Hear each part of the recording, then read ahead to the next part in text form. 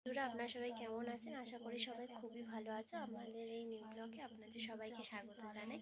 এই যে দেখছ এখন আবহাওয়া একেবারে সঠিক না কখনো গরম কখনো ঠান্ডা। তো সেই কারণে আমরা সোয়েটার আজকেরই বার করে নিয়েছি শীতের বস্ত্র। আর এই যে আমার ভাই পরে আছে দেখতে পাচ্ছ। একেবারে গাবর সোয়েটার প্যান্ট। আমিও সোয়েটার বার করে নিয়েছি।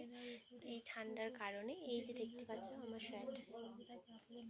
আর এই যে আর একটা তো বন্ধুরা আপনারাও কি এরকমই শীতের বস্ত্র নিয়ে নিয়েছেন?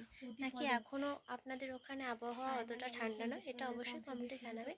আর এই ব্লগটি আপনাদের কেমন লাগল? অবশ্যই কমেন্টে বলবেন। তো বন্ধুরা আজকের এই ভিডিওটি এই পর্যন্তই। শেষ করলাম পরবর্তী ব্লগের জন্য। আপনারা আমাদের ফলো করুন এবং আমাদের সাথে থাকুন। ধন্যবাদ।